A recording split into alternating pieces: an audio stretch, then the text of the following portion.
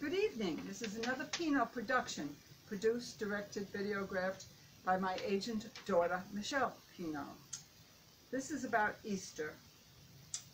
Okay, um, hi, I'm Jane, the little cottontail. I no longer hop down the bunny trail. I gave up hopping and now I just kind of stroll. This old age sure has taken its toll. Ever since I got beaten by the turtle in the race, remember the turtle in the hair? No, there. I think that race was fixed. What a disgrace.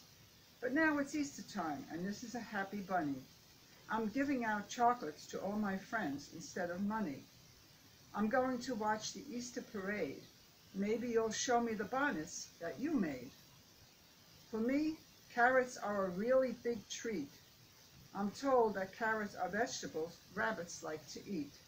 I'd really like a slice of pizza pie. They say that's no food for a rabbit. I wonder why. Everyone have a great Easter. I'll see you next year. I lost one of my gloves. It's on the chair over there. I hope That you all stay healthy. You're all very so dear, so very dear. Love, Jane, Jazzy, Cottontail. God bless all our first responders, essential workers, essential hospital staff, and those serving our country. And God bless you all. Have a happy Easter.